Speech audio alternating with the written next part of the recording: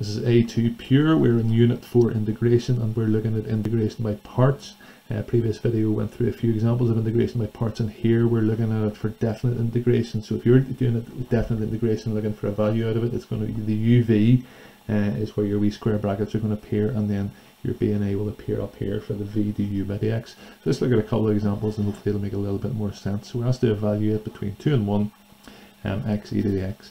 Uh, I think we have a similar one like this in our notes. So u we're going to let equal to x and obviously then du by dx is going to be 1 dv by dx is e to the x and integrating that we get e to the x.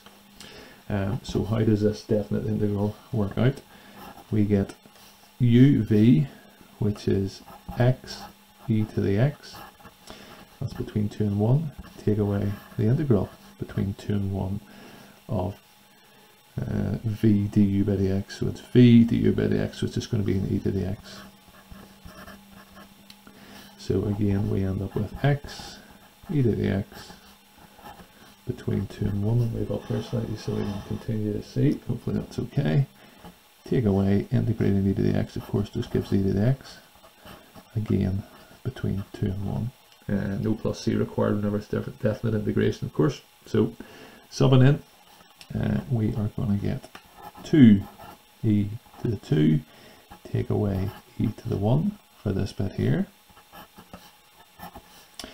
minus e to minus e to the 1, and 2e 2, take away e to the 1, take away e to the 2, plus e to the 1, just leaves us then with um, squared um, and I think that's approximately 7.39 or in and around there. Um, let's take a look then at our second example. It's something similar. Uh, so let's put it down here. So this is x sine x. Again, I think we integrated this one earlier on, uh, but not with limits on it. So uh, u is x du by dx is 1 dv by dx is sine x and if we integrate that we get minus cos x I think don't we um, so our integral then between 0 and pi over 2 our uv is minus x cos x and that's again between pi over 2 and 0 take away the integral of minus x times 1 dx. If you, you have a plus there effectively, so the cos then will just go to the sine, I think, doesn't it? So, uh, minus x cos x pi 2 and 0